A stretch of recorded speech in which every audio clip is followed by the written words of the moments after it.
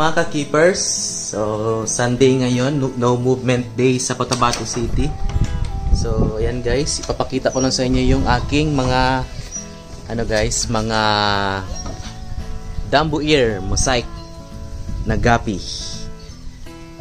So, ayun. Hindi tayo nakakuha ng ano ngayon, ng live food, ng dap niya kasi no movement, bawal lumabas. Pero pag sinabing pag So, dito tayo sa aking mga gapis.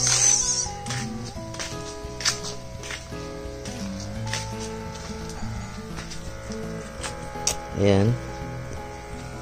Ito yung ating ano guys, mga Dumbo ear. So, malalaki na sila. Umabot na tayo ng ano, ng 1 month and 5 days. Dahil nag 1 month sila noong September 23. So ito na guys, yung ating Dumbo ear mosaic. So meron akong papakita na trick sa inyo guys. So ito. Kunin natin itong ano. Ito. so ganito gawin ang ganito ang gawin natin para utuin ang mga isda. So, susundan nila ito guys.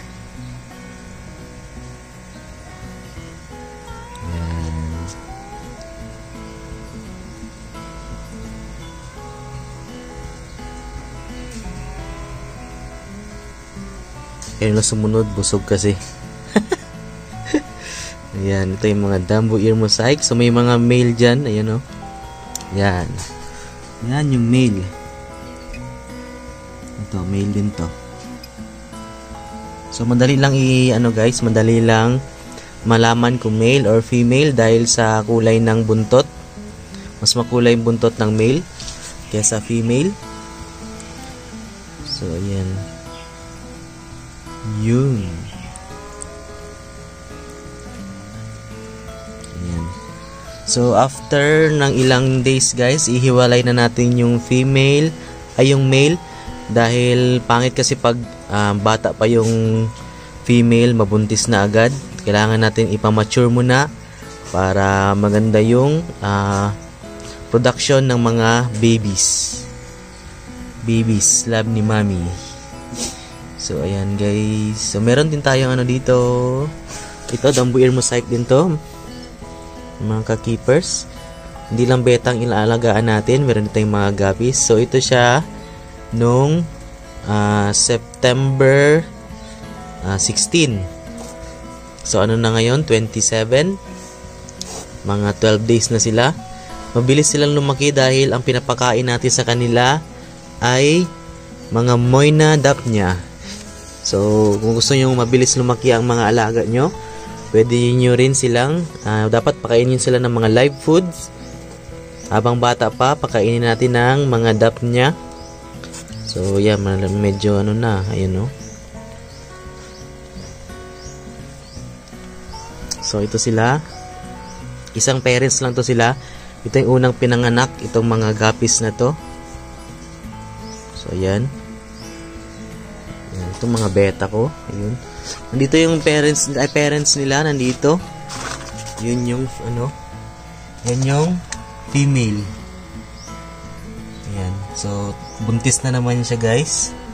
Pang third batch na nga sunod. Ito yung male. Diyan sa loob. Ayan. Patago. Ayan guys.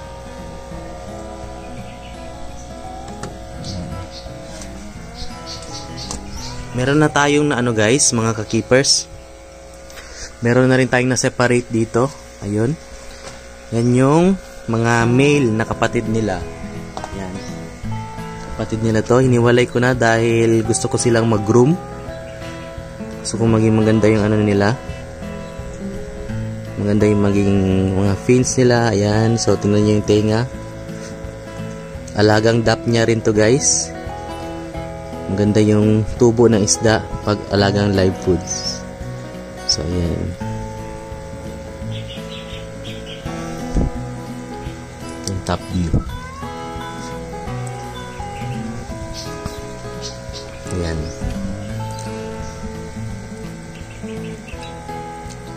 So kung wala naman kayong mga live foods na makuha sa inyo, uh, pilitin nyo talagang bumili ng mga ganito, BBS.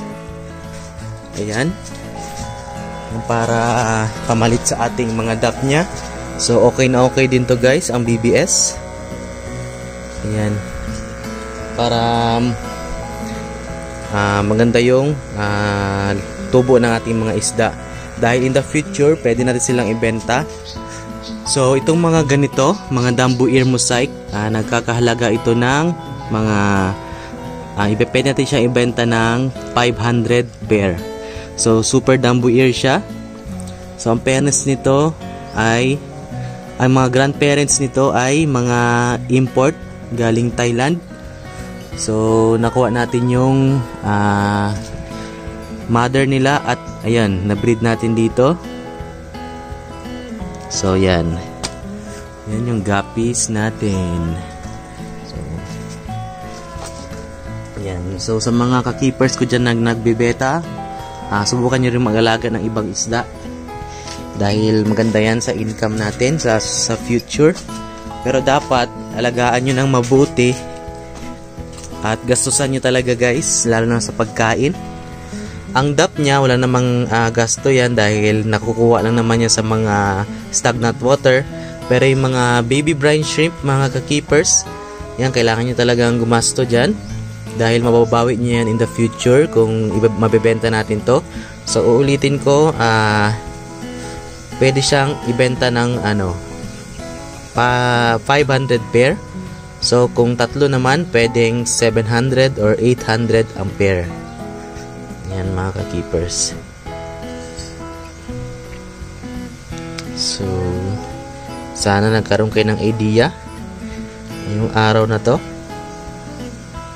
So, yun ang cost, uh, yun ang uh, presyo ng Dambu Ear Mosaic.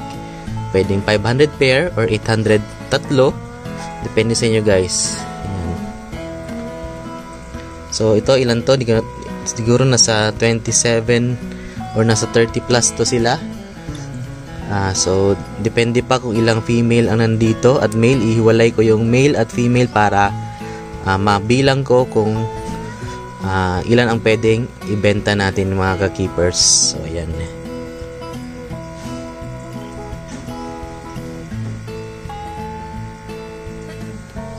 Ayan. So, ito, next batch konting tiyaga lang. Antayin lang tayo ng ilang buwan mga 2 months. Pwede na natin silang ibenta. Dahil medyo malaki na. So ayan mga ka-keepers. Sana na meron kayong natutunan ngayong araw na to.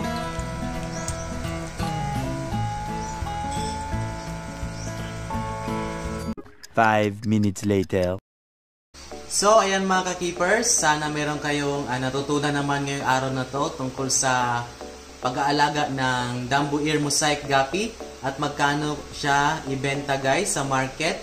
So, ayan mga ka-keepers, bago tayo mag-end sa vlog na to, shout out muna tayo. Shout out kay I Love at Care Bear Adventures. Shout out sa iyo. Shout out kay John Lloyd Tribunal. Shout out kay Rogen Limos. Shout out kay Patrick Ampolokyo. Shout out kay Omer Indian. Shout out kay Amniel Posadas. Shout out kay Kurt Johnson Asa. Shout out kay Lance and Justin. Shout out kay Fritz John Batukan. Shout out kay Ben Flor Enco. Shout out kay Adrian Adjani. Shout out kay James Tawagon. Shout out kay Jane Dingo, Kurt Dapun, Yubs Z Ormed. Shout out sa Yuzmi Ormed. Shout out kay Jenlyn Elnas, JB Merca. Shout out kay Den Aaron De La Cruz. Shout out kay James Tawagon. Shout out kay Jason Bravo. Shout out kay Charlie Charlay Magne Valenzuela. Shout out kay Pameron PH. Shout out kay Jenlyn Elnas kay Ratats Senpai, shout out sa iyo Senpai. Shout out kay Jay Abe, kay Neo Yodje, Jane Dingo. Ayun guys, uh, sa lahat ng na-shoutout ko, paki-share ng video na to guys sa Facebook, paki-like na rin at comment para sa next vlog. Uh, Masya-shoutout ulit kayo sa mga mag-comment dyan at like and share sa Facebook. So ayan mga ka-keepers, uh, don't forget to like, share, comment, and subscribe. At i-on ang notification bell para lagi kayong updated sa mga bagong uh, videos ko guys. So see you next time mga ka-keepers. Bye-bye!